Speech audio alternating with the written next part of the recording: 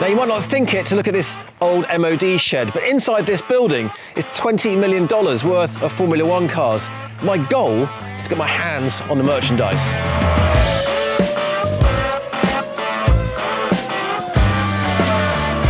This is James Densley, the technical director of TDF. Um, James, thank you for like letting me in here because there's a lot of secrets in here, and uh, I'm not used to seeing Formula One cars without their clothes on because they, they, keep them covered for a reason. So you've got a room full of trade secrets, and it's amazing you get to get hands on this stuff and dive into the detail of how these cars were actually made originally. Yeah, absolutely. Uh, we're trying to sort of break the mold a little bit with uh, with trying to get people around them. As you say, they're normally covered and people can't see them. So. Yeah we can get people around them and get them back on circuit, most importantly, that's what we're sort of trying to do. It's mega. I mean, one thing I noticed uh, in this room, you've got, I mean, a serious collection across a you know, range of different years, but nearly everything in here is a V10. It's the golden era of F1. It's the, it's the days that people long for, 18,000 RPM, you know, unbelievable technology that went into the engines that power these things and that made your ears bleed.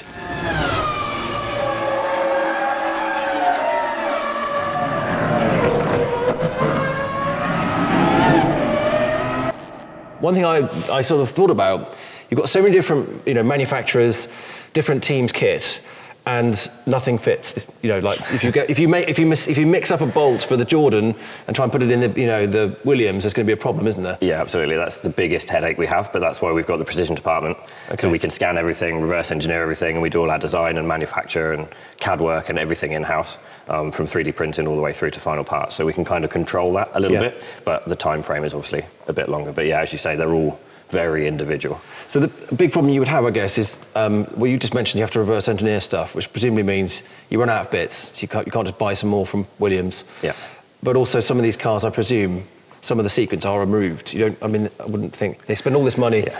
It's a huge arms race during the winter and during the season to out engineer the other teams, keep everything under wraps, fake side pods, yeah. all these games that you see, and then I, I just find it remarkable that at the end of the season these cars get sold mm. and then you've got them and you can open them up and, and see what's inside. But they must hide some stuff. Yeah, I mean, generally they'll use them as show cars for a couple of years, and there's a there's a reg that you can't run anything within five years of like a current car. Yeah. The teams can, but they tend not to sort of creep out until three or four years after.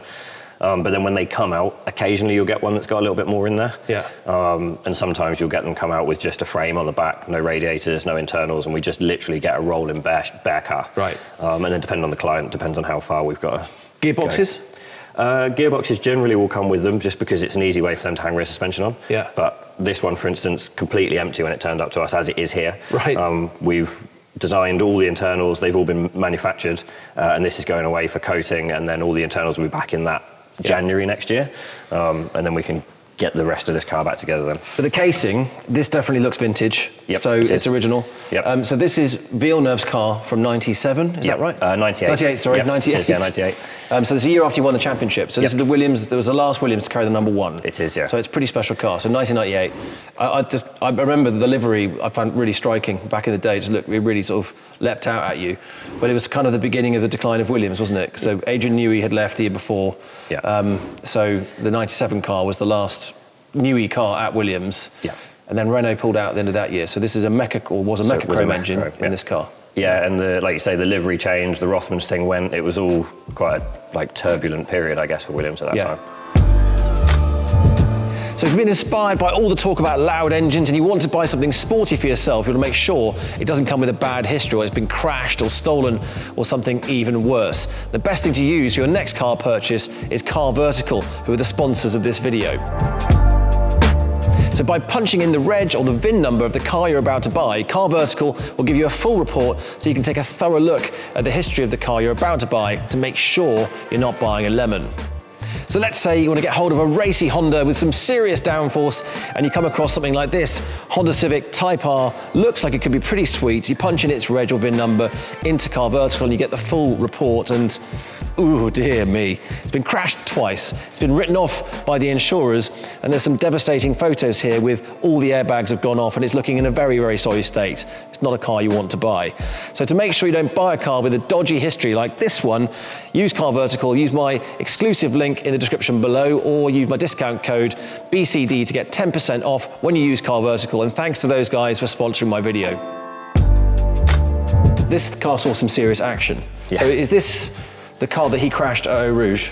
Uh, yeah, it is. That's where it finished its like racing life. It did most of the first half of the year. Had Yeah. a podium at Monaco, I believe, uh, maybe at Hockenheim as well.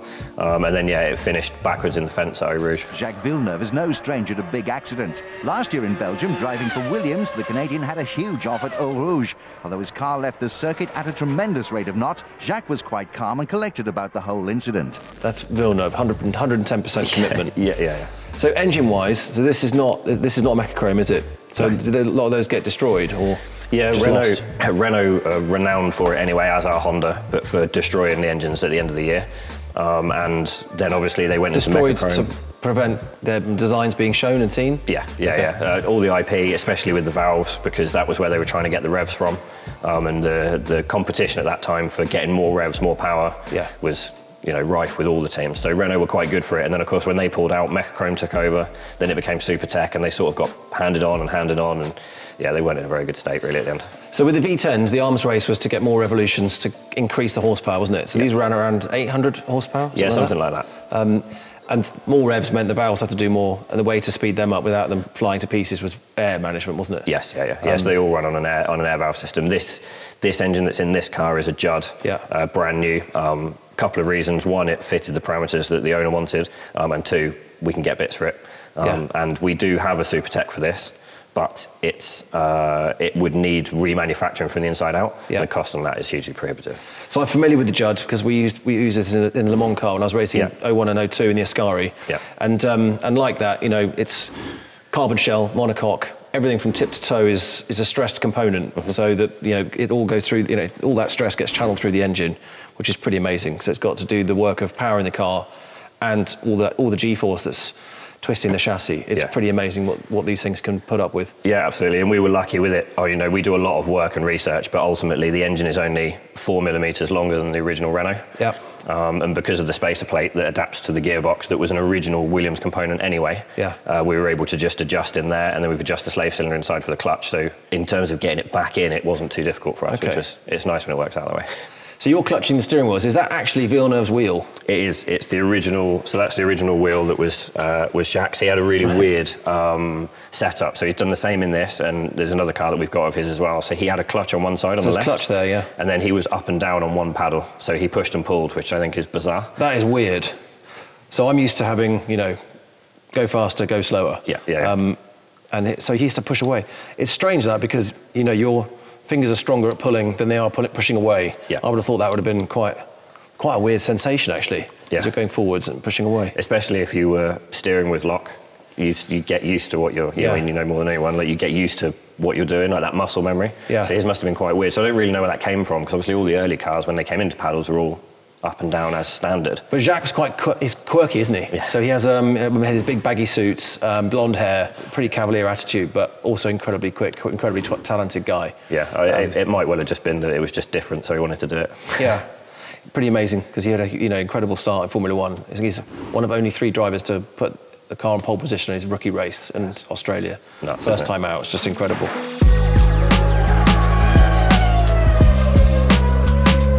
So the other thing that's fascinated me about this era is um, the move away from you know this, well, how the suspension developed and these um, torsion bars Mm. that control the weight transfer and the, and the absorption of the forces. Yeah. Could you explain how these work? Because I've never raced a car that had these because it's quite an unusual configuration, isn't it? Okay, yeah. So I mean, they've changed along the way. The sort of early '90s cars were all torsion bars driven through the tops. They still work the same way. There's a, a rocker, and it's fixed at one end, and the torsion bar that goes through is splined at both ends. Yeah. So when you see the force here, it twists the bar, and instead of using a, a spring like you would conventionally, it uses the twist in the bar. Cool. Um, and then there are our dampers are away at the moment at rebuild, but there's then a what is literally just a damper, no spring on. And that's just used to control that rate so they don't resonate when they come off in the same way a spring would.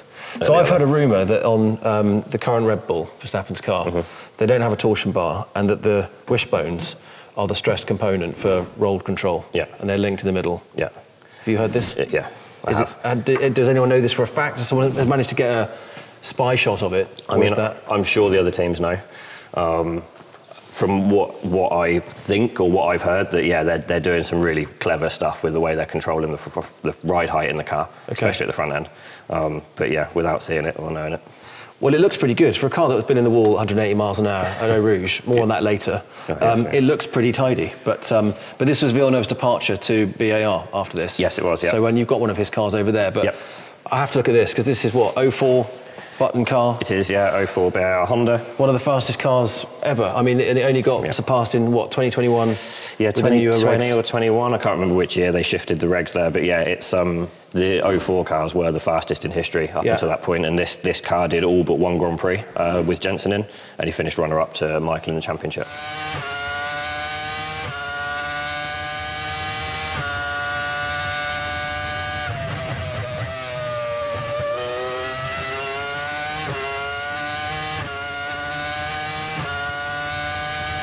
Mega. So, So- this is a really, I mean, this is a proper bit of kit. Yeah, it's a special car. This one. So what matches? You've got the tub. I Yeah. think you were hinting to me earlier that this is a bit of a rat rod. Yeah, it's- so you've got a, a- few mixed components It's on a bit here. of a bit to this one. So the brief brief from the client was to be all F1 components uh, and as original as possible, but knowing the restrictions that there wasn't a gearbox for it from Honda. Yeah. Honda destroyed all the engines. Um, and when this turned up to us, it was just a rolling shell, essentially. Yeah. There's two of them. One of them was hanging in the wind tunnel at Uh-huh. my old place of work. So we pulled that one out because that was the one that had the, the results in. And Yeah. the other one was the first car I bought. But yeah, so the engine is a 2002, 2003 Cosworth. Mm-hmm.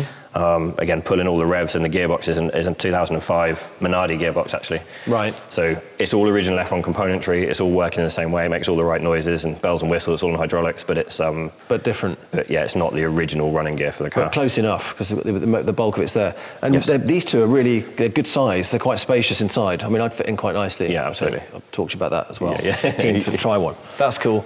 So the 95 Jordan, I recognise that name. Barrichello is that guy Yeah. who um, he's pretty rude actually. He made a T-shirt saying that he beat my time at the Top Gear track. Right, so I'm did. not sure. I think, but I remember that he'd widened the track to do this. So I think Oh, that's really? cheating. That, well, that's got to be, isn't it? But anyway, I I probably need to forgot go back that. and um, try and restore some honour about that. But Barrichello, I was always a huge fan of him. And when I was racing in Formula 3, I was I used to watch these um, old videos, to try and learn as much as you could from Yeah. history of, of the sport and everything.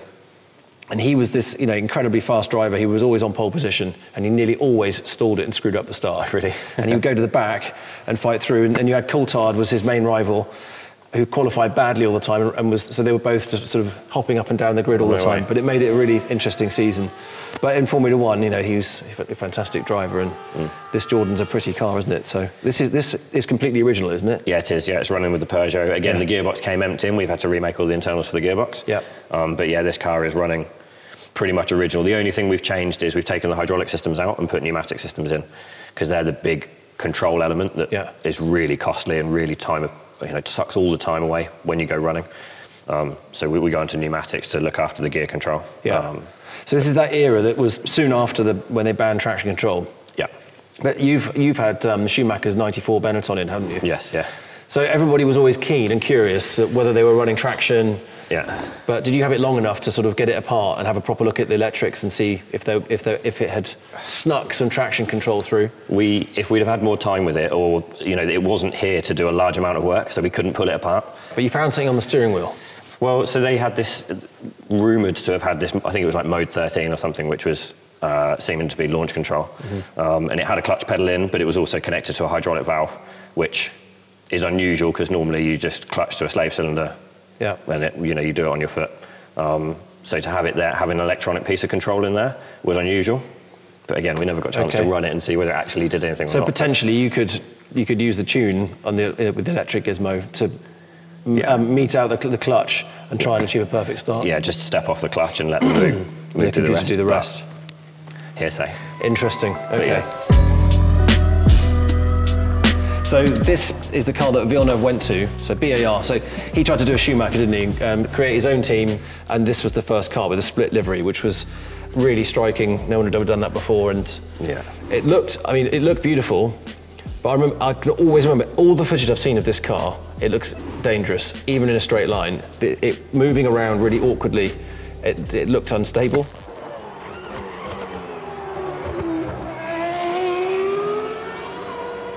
It was year one, wasn't it? You know, it's, you know, any new team coming in is really up against it when you're up against some of the big teams, big Yeah. manufacturers. Um, you know, and I think they were trying some things that maybe weren't as conventional or trying to reinvent the wheel a little bit, which Yeah. normally doesn't always help. well, the wheels fell off, didn't they? Oh, yeah, yeah, and they had some big shunts. Yeah, Um, massive. Because is this the this is Zonta's car, isn't it? Yeah. So they um, that was a, again back to uh, Spa. Yeah. Eau Rouge, he crashed that at Yeah. High speed, and then got in this, and he had a bet going with Zonta, wasn't it? To, um, they were going to do it on their first lap, try and take it flat. Flat. Both drivers would attempt the daunting corner without lifting, and the result was almost a carbon copy of last year's accident. One car down, Craig Pollock was concerned. When the session restarted, Ricardo Zonta went straight out. The Brazilian didn't back off from the challenge and suffered an even more spectacular accident than Villeneuve.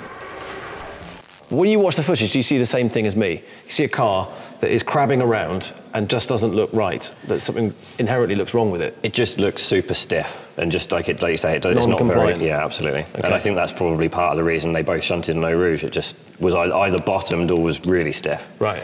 Um, but yeah, it's uh, caused them some headaches. Well, it's your headache now because you've Well, got it. yeah, absolutely, yeah. So the wheels, the wheels fell off. It handled really badly, and it was too stiff, and it was this, and it was that. So now you've got one of these, and you've got a customer who presumably would rather it handled quite Yeah, well, yeah, and that the wheel stayed on. So how do you go about sort of, you know, reinventing the wheel? I mean, with the joys for us is we're not in a we're not competing against other F1 teams, so you haven't got that same metric, which is good. And Yeah. as you know, these things, even when you're way below the limit, are still quite incredible compared Yeah. to 90% of the cars in the world. Okay. Um, so for us, we tune them back a little bit. We change the dampers, so we have a lot more tunability. Uh, we can obviously afford to raise the ride height slightly, which Okay. which helps. So you can Um, build in the compliance that makes them easy to drive and Yeah, absolutely. less critical or likely to spit you into a barrier. Yeah, absolutely. And Well, we, that's we, nice. we can manage any of those little issues, like the way that the brakes are mounted, and there's a lot of things that were designed to do just a Grand Prix. Yeah. We can go in and, and re-engineer those slightly to get more life into the car. That's cool. But it does look amazing. So there's some good looking stuff over here. So I know you're fond of Minardis, aren't you? Yeah, we, yeah, we've So can we kind go of check it? Because nobody ever, you know, cared enough about the Minardis because they were there. Yeah. They didn't always, you know, finish. They didn't. Yeah. They didn't always get competitive. But We've got a bit of a is it's great relationship with them because we've done, over the years, I've probably built one of every Minardi from the 80s all the way through to uh, the Alonso cars, 2001, Yeah. um, all the way through to uh, the end. So uh, PS05 would have been the last one, which was 2005. Um, so yeah, there's kind of like a affinity with it, but they are very Italian. Right. Um, what does that mean exactly? They're they're all quite pretty cars, but they're hard work. and there's nothing for them. Obviously, they were a small budget team, so there weren't tons and tons and tons of spares that you could try or pick knowledge out of. Right. Um, so And no manual. no. And and again, the, this car, apart from one little piece of loom, uh, which would do the live telemetry, Mm-hmm. is as it came out of Minardi in the end of '98. Every component. So you got everything. So unlike these ones where they, they destroyed bits that they thought were Yeah. sensitive, Minardi gave you the whole thing. Yeah. That's It- amazing. It, ca- it came out and went to a private collection. Yeah. And then it sat still for a very long time. And then the new owner bought this two and a half years ago. Yeah. Um, and we re-lifed the car and got it back up and running. Then we've been doing events ever since. So this is it in winter prep now. It will go through this big preparation process. We do all the crack testing and the same thing that F1 teams would do. Um, re-lifing with the engine, gearbox, loads of other components. And then it'll go back together January, February next year. Awesome. So this one's completely original, which is brilliant. Yeah. Right, we've got another beast here, which looks like it's got a Honda engine. So it's got the original motor. It's uh, it's actually a custom built. So again, Honda are the same as um, Renault would be. Just Okay. destroyed them all. Right. Um, I'm sure they've got stacks of them in Japan somewhere, probably. Yeah. But getting them is, you know, unless you've been a Honda driver or you're part of Honda, it's not going to happen. So Yeah. this owner, uh, this is a, a Cosworth again. Yeah. Um, but it has been built. Uh, for this car, so it's based on the same era engine. Okay. Um, 18,000 RPM.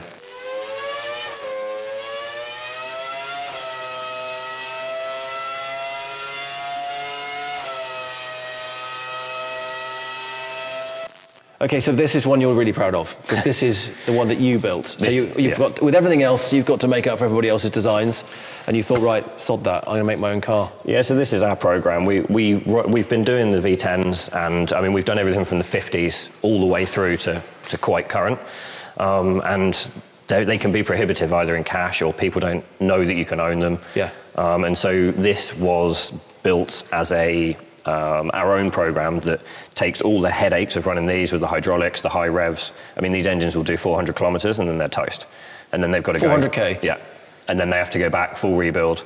and depending on the damage, that can get very costly very quickly. Wow. Um, and that's provided they do stay together. Obviously, the V10 stuff was The Judd last difficult. longer, or yeah, the Judd will do um, two and a half thousand kilometers. Okay, yeah. Obviously designed for Le Mans, so Yeah.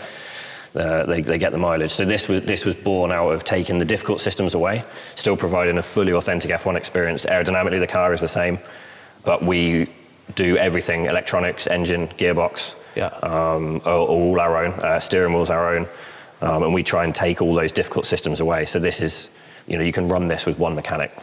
As long as you've got someone to strap you in, you can go and run it. All right, so the, one of the biggest cost savings must be in the motor. And this is tiny.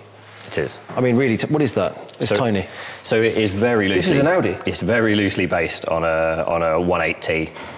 You're kidding. um, Volkswagen engine. It's a So V-dub? the- yeah, essentially the, the very basis of that. Yeah, or a Mark 1 Audi TT.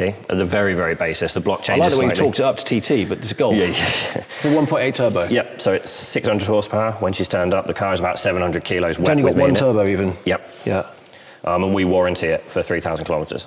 That's The, amazing. the entire powertrain, engine and gearbox, which allows you to just go and smash the laps in and not worry about it. We have a deal with Pirelli Yeah. um, and everything for these cars. As with all of it, we scan everything. Um, so we're starting to build this big database now. But this car, if it ends up in the fence, we can put it back together.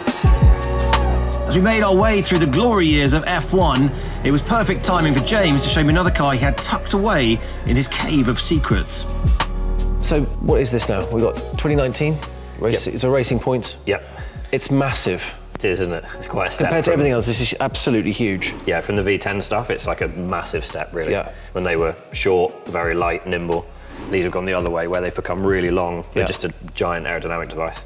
I mean, you look at this. They've, it, this is the, the the thing that stands out is that the aero, everything is taken to the nth degree. Yeah.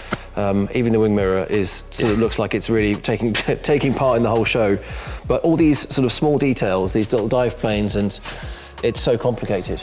It Yeah. looks, you know, and any debris that hits that, it's going to have a massive effect on it, isn't it? Yeah, you can see, like, you don't see it on the TV, even the floor edges and the way uh, they are, like, when they get touched, and then the pace suddenly disappears in the race. It's Yeah. like, oh, I don't know what the problem is, only banged wheels, you know, touring cars do all the time. But when you see what it loses to the car, Yeah. you can kind of understand a lot more why why they are like that. But even these wishbones are kind of shaped. They've got curvature in them that. Yeah, absolutely. So they're all in shrouds. So the centre of the wishbones are solid, and then these Yeah. are all shrouds that can be changed to suit obviously different trims or different circuits. Yeah. Um, and then even the uh, adjusters for changing camber Yeah. are all sealed, so there's no spaces.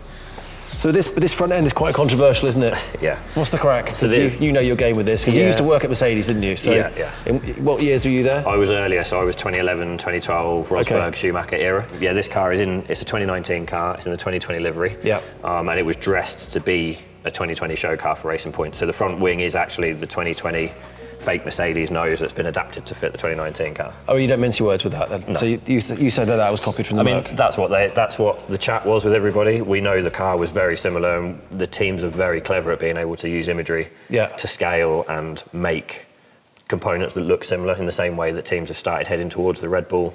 Right. You know, like Aston did this year, and McLaren have gone that way as well. So, you know, there was never proven to be any transfer of info. One of the things you notice is, is where does the air go in? Because the scoops are so small Tiny, and they? they're so hidden. Um, so again, that's all making it more aerodynamic, just getting the air around, getting the flow faster through that rear wing. Yeah. Um, just they're just demons, aren't they? So so powerful and so um, so much grip. It's ridiculous. Yeah. So what are you doing with this? This currently is the it's the newest car in private ownership from a team, um, and we are looking at the Generation Two TDF1 program with this. So it will be back on track one way or another, um, and we're going to use this as a development piece. So you know, over the next 18 months, we'll develop this out, develop our powertrain for it, Yep. um, and, and get it back on track. So you'll have a, a more modern car that's got um, yeah, all, more aero, more power, more grip, more everything. Yeah, absolutely. What engine are you going to put in this then? Or is that a trade secret? No, ongoing at the moment. Um, we've looked at a few programs, so there's an option to do our own powertrain from the ground up. Yeah. potentially doing something that will mirror the V6. Okay. Um, so that we can keep it as a V6. Yeah. Um, but there are a few other options that we're looking at. But uh, yeah, that's going to depend on interest and the way we fund and that, that sort of step moving forward. The development phase is obviously Yeah. quite big. Cool. Just need a track big enough to fit it. Yeah, yeah, oh, yeah, absolutely. Super cool. So obviously these race engines, thoroughbreds, pedigree, Yeah. you know, built to withstand huge RPM, but also the, the contortions of the chassis. Yeah. So this this engine wasn't. So is, have you made a new block, or how or how have you dealt with the the stress forces that are coming through the, the tub? So the block is is strengthened, is a slightly different block, um, and then we run these A-frames, um, Okay. which gets our wheelbase back, so the car operates in the same way that it did. Yeah. Um, it also means we've not adapted the chassis, so should the owner of this at some point decide they want to go back original, we can just unbolt our stuff and put the original componentry back in. So is this this a Marussia? It was, yeah, Okay. From what year? 2011. Brilliant. Okay, so you can you can take your car here if you bought one of these absolutely amazing pieces of kit. Mm-hmm. Restore it in a way you want, so you can save the engine, the original, so you're not going to detonate it or risk it. Put this in, but you can convert it back. Yeah, so we so the TDF1 program, we have owned all the cars. So the two Saubers, they're in reception. Yeah. We've got uh, two other cars in storage. These are designed around that slight hypercar experience. You get Yeah. to go and paint it the colours you want, as you can see with the livery on this car. Yeah. Um, and we've delivered the first three. We've got the fourth one in build now. Um, and it's just a different avenue. It kind of takes all the areas of the bits that we've learned over time and twists them into a sort of a different look at the uh, track market. I guess all the, I mean, you know, the OEMs have all gone track focused with like the Valkyrie Pros and that kind of thing. We're trying to disrupt it by coming the other way with taking the ultimate race cars and making them usable on track and, and affordable, Yep. but accessible to everybody. Okay. So how much does one of your TDFs set you back? I mean, what if you wanted to? So these start at retail at 1.25. Okay. Um, and then the running cost is comparable to a GT3 car, or slightly less, depending on the mileage. Which has got to be what, 50th of the original F1 running costs? Yeah, absolutely. And you can run this with one person? Yeah. That's uh, incredible. Presumably because the engine is so simple to start, because I know it takes about a team of Yeah. 10 to fire up an, an, an original F1 engine with all the electronics.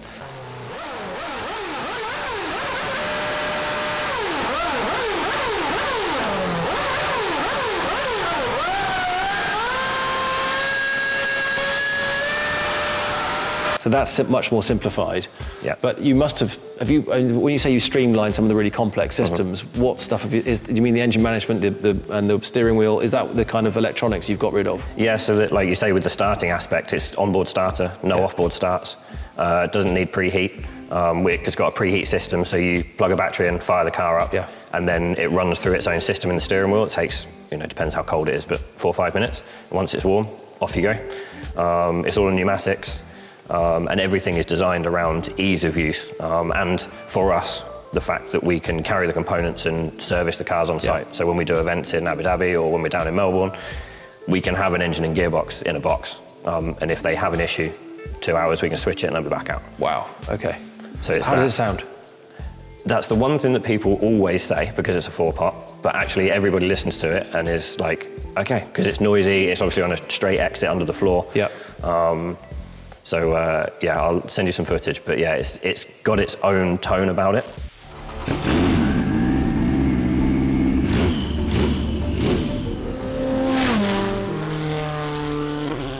Still super noisy, um, but again, we can get around in some of the noise restrictions that we can't with these.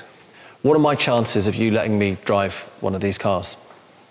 Please. I mean, I think there's probably a fair chance. To Really? Be fair. Yeah, Okay. absolutely. Espe- especially this program. But Yeah. I think there's a couple of the V10s in here that when we get into shakedown into next year, that we might be able to do something. Epic. Okay, right. So, guys, please get on there on the comments. Help me out with this. I'm going to convince James to let me out in something. So, I'm going to pick, let you pick, basically, what is the best car for me to try and take out. I've got my own couple of favourites um, from my little tour, but um, I think we've got to lobby this one pretty hard and try and get in one of these next year. Um, thank you for showing me around. No and. It'd be a lovely Christmas present to know that um, I'm going to get my hands on the merchandise in the new year. So, Yeah, we will have to get these guys to work out which one it's going to be. Right, bring it on. See you there. I've always been a massive fan of Williams F1 and Jacques Villeneuve, partly because Gilles Villeneuve was one of my absolute heroes getting into racing in the beginning. Ayrton Senna, Gilles Villeneuve, very different styles, but very strong personalities. So to be sitting inside Villeneuve's car from 98, it's a really awesome sort of feeling. You feel that energy and that connection from a world champion. That 97 battle with Michael Schumacher that ended at Jerez with Michael Schumacher being disqualified and Villeneuve hammering his way past in a really bold overtaking manoeuvre that really sort of personified what Jacques Villeneuve was all about. Villeneuve is all over him, look. He's going He's through. through. Oh, yes. Oh, out I don't think- Out goes Michael Schumacher. That didn't work. Very aggressive driver, very committed, bringing that sort of, if you like, that love of high speed cornering from the Indy racing that he was so successful at, bursting into the Formula One scene with a pole position in his very first race in 96, which is just really unheard of. Only three drivers in history have ever been able to do that. So he came on as a dominant force and then won that championship in 97. A lot of bravery, and I just think it's just so typical of his persona and the way he would tackle a corner like Eau Rouge. Absolutely no fear in fast corners. An Indy 500 winner wasn't going to have any fear for a track in Europe, so taking it flat out, okay, fair enough. But two years in succession to have a massive shunt like that, and this is a car that kept him safe, and he hopped out the other side with a fairly glib comment. Because it's a big one, uh, and you walk out of the car and you're not hurt. So it's, uh, you know, it's like when you get out of a big fight and you're the one who won. It's an amazing bit of kit. You can really sense all the engineering that's gone into this car. Absolutely epitome of F1. So the year after Adrian Newey effectively, but you can still feel some of his touches, the raised leg position, which is something that was coming in through Adrian Newey as a way of packaging the car to make it aerodynamic. He fitted the driver into a smaller space by raising their legs. So it's a slightly unusual position, slightly lying back in the car to get the driver out of the airstream, get the air to flow clean over this thing. But the vision out of these things is really limited. Basically, all you can see is your mirrors, can't see your front wheels, you can't see the front wing. You're really in your own world, but that's what racing is like. You get into your little tunnel, you're very, very focused on what you're doing. And that's exactly how it would have felt for Villeneuve driving this car, absolutely rinsing every ounce of speed he could from it. Yeah, got some serious business done in this car. Maybe it's one that I'll be able to take out, we'll see, but I will keep nudging for that opportunity. I think it's fantastic that TDF are resurrecting these beasts, restoring them and getting them ready for what they were built for, the essence of speed, seeing them on track, live, in action. If I'm very lucky, maybe I'll get a chance to try one of these very soon.